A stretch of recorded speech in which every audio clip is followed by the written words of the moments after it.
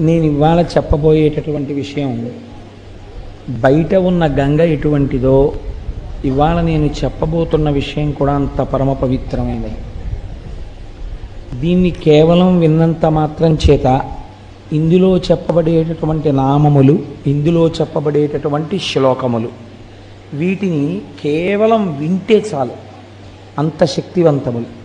కాక వీటిని ప్రతిరోజు ఇంటి దగ్గర చదువుకోగలిగినటువంటి సమర్థత ఉంటే ఇంకా దాని శక్తి అపారం. చూడండి భగవంతుడు భక్తికి లొంగిపోతాడు.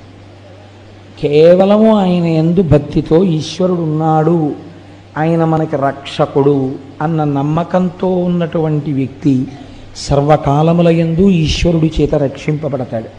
ఇక్కడ మీరు ఒక విషయాన్ని గమనించవలసి ఉంటుంది.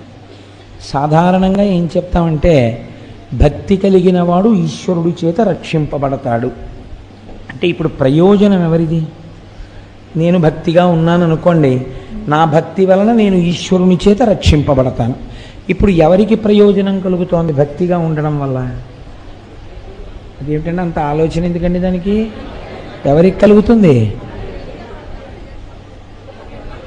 ఎవరు భక్తిగా ఉంటే తప్పది. ఎవరు భక్తిగా ఉంటే అలా కలిగితే నేను ఈ ప్రశ్న మిమ్మల్ని అయినం అంత తేలిక ప్రశ్న ఎందుకు వేస్తానండి? ఎవరు భక్తిగా ఉంటే వాళ్ళకి రక్షణ కలగడం కాదు. దాన్ని శాస్త్రం అంటుంది అనుషంగిక ప్రయోజనము అంటుంది. అంటే గొడుగు పట్టుకుని వెళ్తున్నవాడు ఎండగా ఉందని విడుతుండగా వాన కురిసినా రక్షింపబడినట్టు. ఆవు గుళ్ళోకి వెడితే ఆవుని పట్టుకుందామని వెళ్ళినవాడు ఆవు గుడి చుట్టూ పరిగెడితే ఆవు కోసమని గుడి చుట్టూ పెరిగిన వాడికి ప్రదక్షిణ పుణ్యం పడ్డట్టు. అది అనుషంగిక ప్రయోజనం. ప్రధాన ప్రయోజనం ఏమిటి భక్తి వల్ల? ఈశ్వరుడు ఉన్నాడు అని నమ్మకం కలగడం. కదండి? పరమభక్తులైనటువంటి వారు ఈశ్వరుడి వల్ల రక్షణ పొందుతారు. ఇప్పుడు మీకు ఎలా ఈశ్వరుడు ఉన్నాడన్న భక్తి కలుగుతుంది? ఈశ్వరుడు ఉన్నాడు అన్నటువంటి విషయం తేట తెల్లం కావాలంటే భక్తుల యొక్క భక్తియే సాధనము. అందుకే భగవంతుడు అన్నాడు ఒక చిత్రమైన మాట అన్నాడు. నేను వాని కొరకు రక్షింపవలయవాడు అన్నాడు ఆయన. నేను ఉన్నానని గుర్తేమిటో తెలుసా?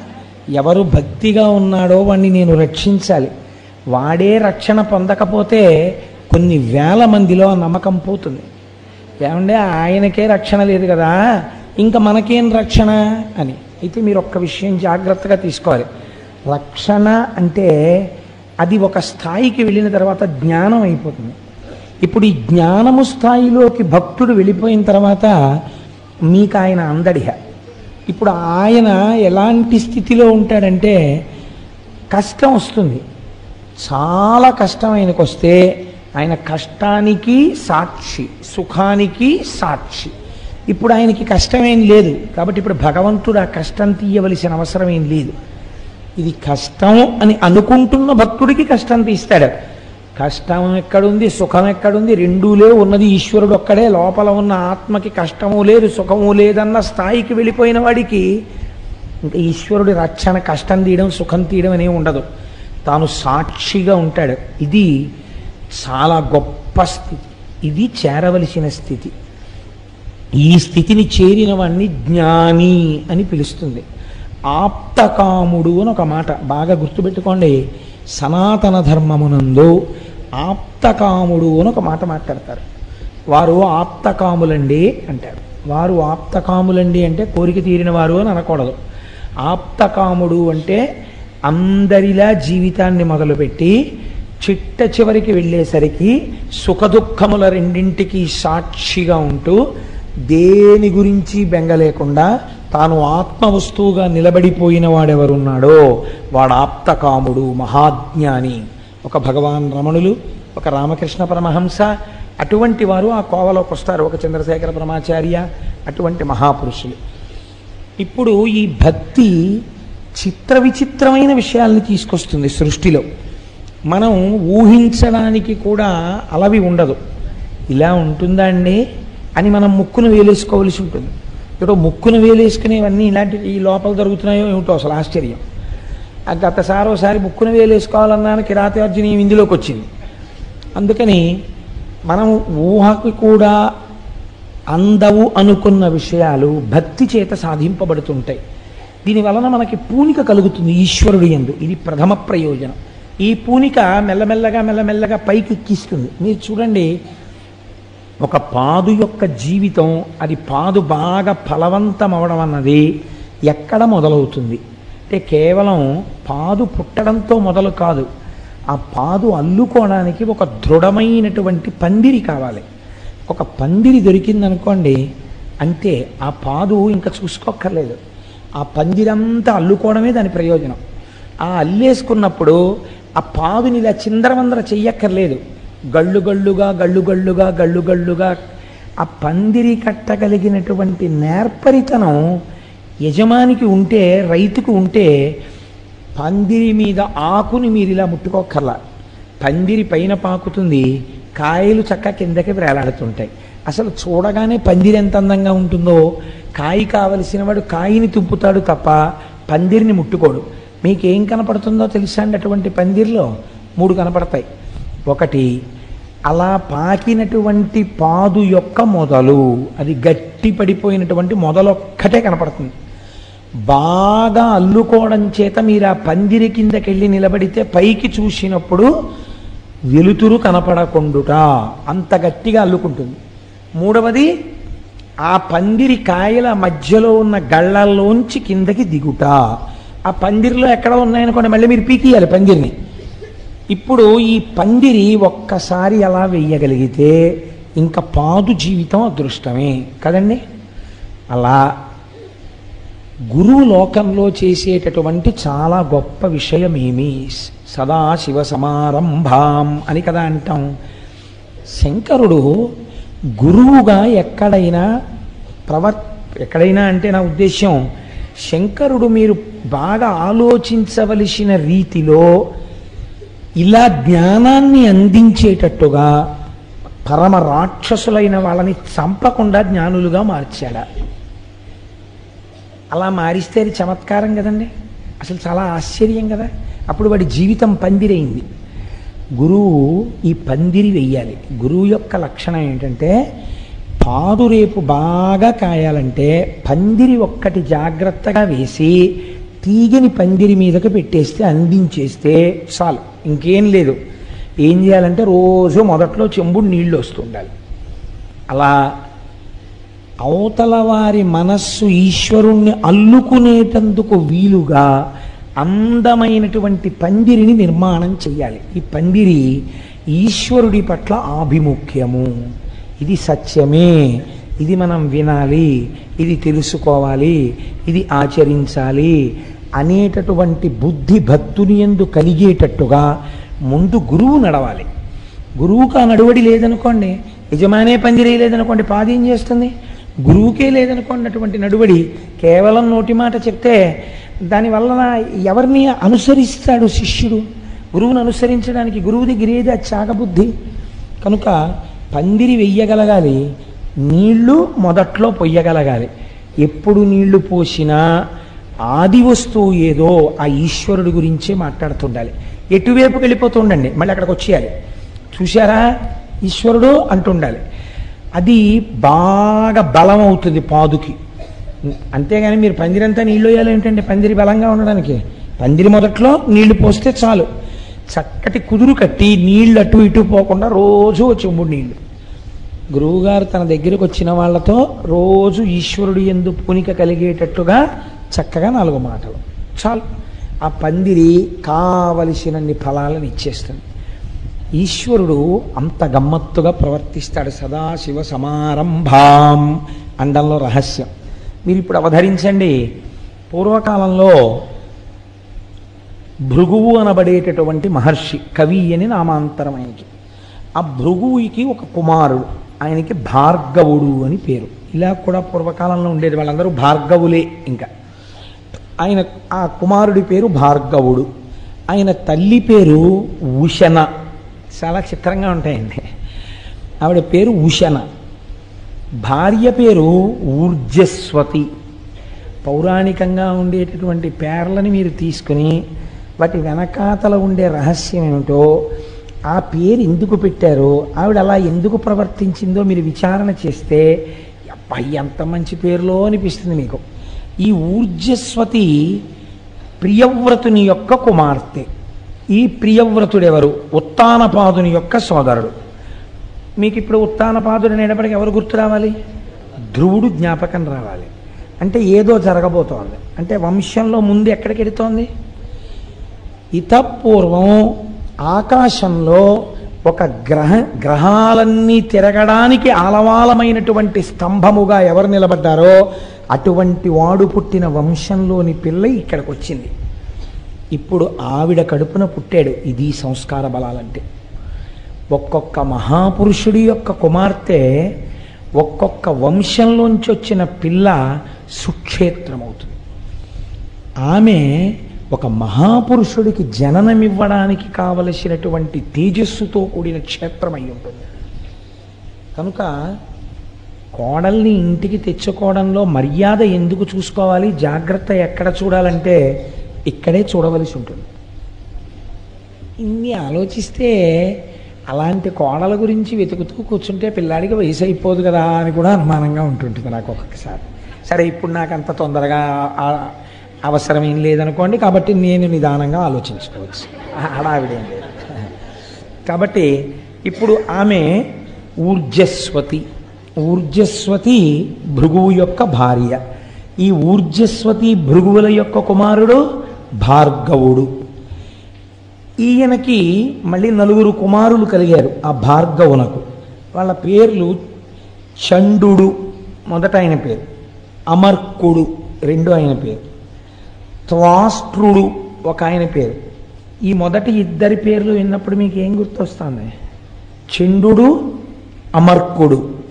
వీళ్ళిద్దరే రాక్షస జాతికి అంతటికీ గురువులు. ప్రహ్లాదోపాఖ్యానంలో ప్రహ్లాదుడికి పాఠాలు నేర్పిన రాక్షస గురువులు చండు అమర్కుడు. కాబట్టి ఇప్పుడు ఈ పైన భార్గవుడు ఎవరు? మీరు పట్టేసేయగలగాలి.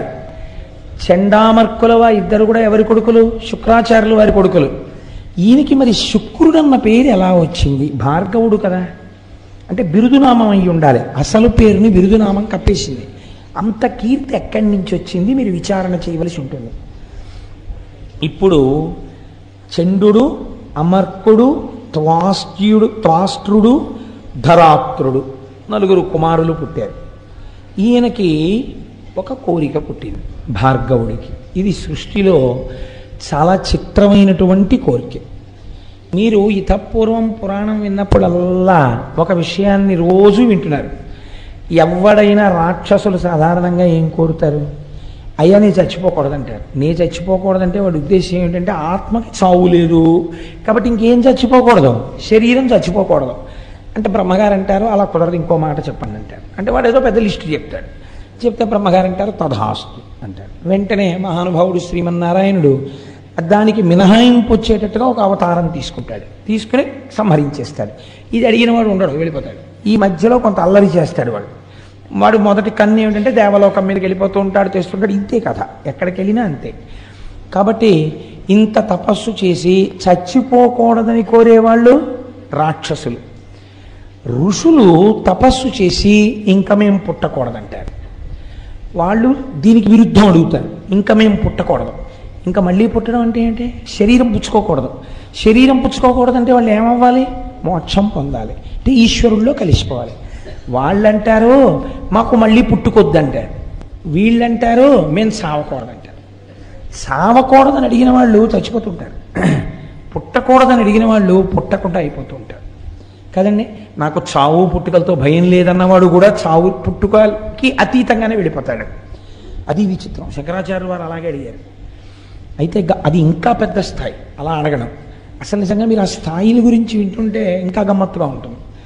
కాబట్టి ఇప్పుడు ఈయన ఈ రెండు కోవలకి చెందడి భార్గవుడు. ఈయన అన్నాడు అసలు చావన్నది ఒకటి లోకంలో ఉంది కదా. శరీరాలు చచ్చిపోతుంటాయి కదా. ఈ చచ్చిపోయిన శరీరాన్ని వెంటనే బతికించేసే శక్తి నాకు వస్తే అనుకున్నాడు. ఇది ఎంత చిత్రమైన కోరికండి.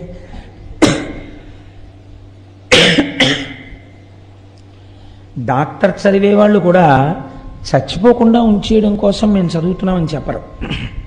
దేనికి చదువుకుంటారు అంటే అలా ఉంచితే డాక్టర్లు చచ్చిపోతున్నారు కదండి. అది మరీ దారుణం కదా. అలా డాక్టర్లు మాత్రం చంపకుండా చావకుండా ఉంచగలరు ఏమిటి? చావకుండా మ- చావు వచ్చే లోపల వచ్చే బాధ పెట్టే రోగాల్ని ఈశ్వర స్వరూపంతో తగ్గించేసి బాధ తగ్గిస్తారు. బాధ తగ్గించగలిగిన వాడు ఈశ్వరుడైతే ఆ ఈశ్వర రూపంలో వైద్యుడున్నాడు కాబట్టి వైద్యో నారాయణో హరి ప్రథమో దైవ్యో భిషక్. ఈయన చిత్రమైన కోరికోటి వచ్చింది ఈయనకి. ఇలా చచ్చిపోయిన వాడిని నేను వెంటనే ఓ మంత్రం వేయగానే వాడు బతకాలి. ఇప్పుడు ఇంకిప్పుడు ఆయన ఏం కోరుకుంటున్నట్టు లోకంలో? ఆయన ఓ ప్రతి సృష్టి చేస్తూ ఉంటాడు. ఆయన సృష్టి క్రమంలో బ్రహ్మగారి ఇన్నేళ్ళు బతకాలి అంటే దాని ఉద్దేశం ఏంటి? ఆ తర్వాత చచ్చిపోవాలని. బ్రహ్మగారు రాసిన రాతని తిరగరాస్తాడనమాట ఈయన. ఇప్పుడు నేను ఆ స్థాయికి ఎదగాలి. నాకు మృత సంజీవని అంటే చచ్చిపోయిన శరీరాన్ని మళ్ళీ పుట్టించాలి నేను. ఎలా? మళ్ళీ ఇంకో శరీరంతో పుడితే బ్రహ్మగారి గొప్పతనం. అలా కాదు. ఏ శరీరంతో చచ్చిపోయాడో అక్కడ మళ్ళీ వాడు పుట్టియాలి. మళ్ళీ అదే శరీరంతో అంతే వయస్సులో అంతే ముడతలు పడిన శరీరంతో అంత బలంతో వాడు చచ్చిపోతే మళ్ళీ అంత బలంతో వాడు పుట్టియాలి. అలా నేను చెయ్యగలనా? ఇప్పుడు ఈ కోరిక పుడితే ఆయన ఆలోచించాడు. నాకు ఈ కోరిక ఎవరు తీరుస్తారు? ఈ కోరిక తీర్చడానికి సృష్టికర్తగా ఉన్నవాడు స్థితికర్తగా ఉన్నవాడు ప్రళయకర్తగా ఉన్నవాడు వాడు బ్రహ్మము. వాడు కదా సృష్టి చేస్తున్నాడు నిలబెడుతున్నాడు లయం చేసేస్తున్నాడు మళ్ళీ సృష్టి చేస్తున్నాడు. వాడు మళ్ళీ ఇంకో రూపంలో సృష్టిస్తున్నాడు ఇదే జీవుణ్ణి. కానీ ఇప్పుడు నేను ఆ బ్రహ్మము యొక్క అనుగ్రహంతో ఇంకొక మెట్టు ముందుకెళ్ళాలి. ఎలా పడిపోయిన వాడిని అలాగే మళ్ళీ పుట్టించగలగాలి బతికించగలగాలి. ఆ శక్తి ఎక్కడి నుంచి వస్తుంది? ఇవి చేసేవాడెవడో వాడి దగ్గర నుంచే రావాలి. వాడు తొందరగా ఎక్కడ తపస్సు చేస్తే ప్రీతి పొందుతాడు? కాశీ పట్టణంలో తపస్సు చేస్తే ప్రీతి పొందుతాడు. అక్కడే ఉంటాడు కాబట్టి. కాబట్టి నేను అక్కడికి వెళతానన్నాడు. వెళ్ళి ఇప్పుడు ఈయన కాశీపట్టణం వెళ్ళి తపస్సు మొదలెట్టాడు. ఇప్పుడు ఈయన ఎందుకు తపస్సు మొదలుపెట్టాడో శంకరుడికి తెలుసా తెలియదా? తెలుసు ఖచ్చితంగా. ఎటువంటి తపస్సు చెయ్యడం మొదలుపెట్టాడు. రాక్షసపరమైనటువంటి తపస్సు ఆయన చేయలేదండి. కాశీలో ఒక శివలింగాన్ని ప్రతిష్ఠ చేశాడు ఆయన. ప్రతిష్ఠ చేసి దానికి ప్రతిరోజు వెయ్యి మార్లు అభిషేకం చేసేవాడు.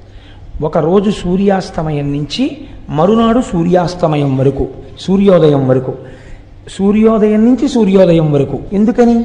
ఈశ్వరుడికి షట్కాల పూజ ఉంది శివార్చనలో. కాబట్టి ఆయన సూర్యోదయం నుంచి మళ్ళీ సూర్యోదయం లోపల ఒక వెయ్యి మార్లు అభిషేకం చేసేవాడు. అందులో తప్పకుండా ఆయన మూడింటినే వాడేవాడు. ఇదే అభిషేకానికి ఉన్న గొప్పతనం. మొదటిది పంచామృతములను వాడాడు ఆ పంచామృతముల యొక్క శక్తే వేరండి అసలు. ఎప్పుడైనా మీకు వీలైనప్పుడు పంచామృతములు అభిషేకము అని ఒక ఉపన్యాసం చెప్తాను. పంచామృతాలు వాడాడు రెండు శుద్ధ జలం వాడాడు ఎందుకని? పంచామృతాలు వాడాడు అంటే శుద్ధ జలం వాడాడు అని అర్థం. అభిషేకం చేసేటప్పుడు ఒక పదార్థాన్ని వాడి రెండో పదార్థాన్ని శివలింగం మీద వెంటనే పోస్తే అది అపచారం. ఒక పదార్థాన్ని పోస్తే మళ్ళీ శుద్ధ జలం పోయాలి. పోసి రెండో పదార్థం పోయాలి. పాలు పోసేసి పెరుగు పోసేసి తేనె పోసేసి అలా అభిషేకం చేయకూడదు. పాలు పోస్తే నీళ్ళు పోయాలి. అందుకే శుద్ధ జలంతో ఒక పాత్ర పక్కన పెట్టుకోవాలి. ఒక పెద్ద బిందె. దాని దగ్గర ఒక చెంబు పెట్టుకుని పాలు పోసి నీళ్ళు పోయాలి. అందుకే కదా నిన్న పొద్దున్న అభిషేకం చేసేటప్పుడు ప్రతి పదార్థానికి మళ్ళీ శుద్ధ జలంతో చేశాను. కాబట్టి అలా మార్చి చేస్తారు. కాబట్టి ఇప్పుడు పంచామృతములతో అభిషేకం అంటే మధ్యలో తప్పకుండా ఏది వాడబడింది? శుద్ధ జలం వాడబడింది. దానితో పాటు ఈశ్వరుడు చాలా తొందరగా ప్రీతిపాత్రుడై పది మందిని బతికించేటట్టుగా అంటే కడుపున పుట్టినటువంటి వాళ్ళు ఇబ్బంది లేకుండా సంతోషంగా ఆయురారోగ్యాలతో ఉండాలంటే గంధోదకంతో అభిషేకం చేయాలి అందుకని గంధోదకాన్ని వాడాడు. ఎందుకు వాడాలి? పది మంది చచ్చిపోయిన వాళ్ళని పుట్టి మళ్ళీ బతికించాలనుకుంటున్నాడు. అప్పుడు వాళ్ళందరూ తనకి బిడ్డల పట్ల మళ్ళీ పుట్టిన వాళ్ళు ఇప్పుడు ఇంత శక్తి కావాలి. కాబట్టి గంధోదకం వాడాడు. ఎంత గమ్మత్తో చూడండి ఇంత శాస్త్రీయమైన అభిషేకం చేశాడు. దీనికి ఆయనకి ఇంకొక వేరే వ్యాపకం లేదు. ఏమిటో తెలుసా అండి? ఈ వెయ్యే. మీరు ఇందులో ఒక పెద్ద రహస్యాన్ని కనిపెట్టండి. ఇలా చేసేటప్పుడు భార్గవుడు పరమశివుణ్ణి అభిషేకానంతరం అర్చన చేయాలి మళ్ళీ. లఘువుగానైనా సరే పొడిగా తుడిచేసి వస్త్రం కట్టి అభిషేకం చెయ్యాలి అర్చన చెయ్యాలి ఈ అర్చన చేసేటప్పుడు ఆయన కొన్ని పువ్వులు వాడాడు. ఇందులో నేను మీకు చెప్తాను. మనకి బాగా అందుబాటులో ఉన్నప్పటికీ మనం ఎప్పుడూ పరమశివుణ్ణి అసలు వాటితో అర్చన చేయము. కారణమేమి? మనకి పౌరాణిక జ్ఞానము లేకపోవటయే. మనకి తెలీదు ఎంతసేపు పళ్ళరసాలు తెస్తాం కానీ అసలు శివుడికి వీటితో చేస్తే తొందరగా ప్రీతిపాత్రుడవుతాడని మనకి తెలియదు. ఇప్పుడు వినండి ఆ జాబితా. సంపంగి పూలు. చేస్తామనుకోండి పోని. మెత్త పూలు తక్కువ. గన్నేరు పూలు వాడుతుంటారు. తామర వాడతాం. కొండగోగు తక్కువ. జాజి వాడతాం. కడిమి పువ్వు కడిమి పువ్వు దొరకడం కూడా చాలా కష్టం. కడిమి పువ్వు సాధారణంగా వాడడం. అలాగే పొగడ పువ్వు వాడుతూ ఉంటారు. కలువ పువ్వు వాడుతూ ఉంటారు. మల్లె పువ్వు వాడతారు. కమలములు వాడతారు. సురపొన్న పూలు అక్కడక్కడ వాడతారు. దర్భాగ్రములు. ఇవాళ మేము అభిషేకం చేస్తున్నామండి. అభిషేకం తర్వాత అర్చన చేయడానికి దర్భాగ్రములు సిద్ధం చేసుకున్నాము అన్న వాళ్ళ ఎంతమంది ఉన్నారో నాకు చూపించండి. శివాభిషేకం చేసిన తరువాత కొత్త దర్భలు తీసుకొచ్చి వాటి తలుక చివుర్లు తుంపి ఒక ఆకులో వేసుకొని చక్కగా శివనామాలు చెప్తూ ఆ దర్భాగ్రములతో పూజ చేయాలి శంకరుడికి. ఎందుకు చెప్పండి అలా పూజ చేయడం? దాని వెనకాతల ఒక పెద్ద రహస్యం ఉంది. ఒక మంత్రం చెప్తుంటారు. ఆ, ఆ మంత్రం చెప్పినప్పుడు గడ్డిపరకని అలా ముట్టుకుంటే గడ్డిపరక అంటే దర్భ. ఆ దర్భని ఇలా ముట్టుకుంటే సర్వ పాపములు నశించిపోతాయి. అందుకే సీతమ్మ తల్లి రావణాసురుడితో మాట్లాడేటప్పుడు గడ్డిపరకని పెట్టడానికి కారణం అదే. పరపురుషుడు కామంతో చూస్తున్నవాడు రాక్షసుడు భర్త పక్కన లేనప్పుడు ఆయనతో మాట్లాడుతోంది కాబట్టి ఆ పాపం పోవడం కోసమని గడ్డిపరక పెట్టి మాట్లాడేది ఆవిడ. కాబట్టి దర్భాగ్రములు మామిడి చిగుళ్ళు మామిడి చిగుళ్ళు తీసుకొచ్చి శివలింగానికి పూజ చేయాలి. మామిడి చిగుళ్ళతో పూజ చేసామండి నాకు తెలిసి సభలో నాకు తెలిసి ఉండొచ్చు మహాత్ములు.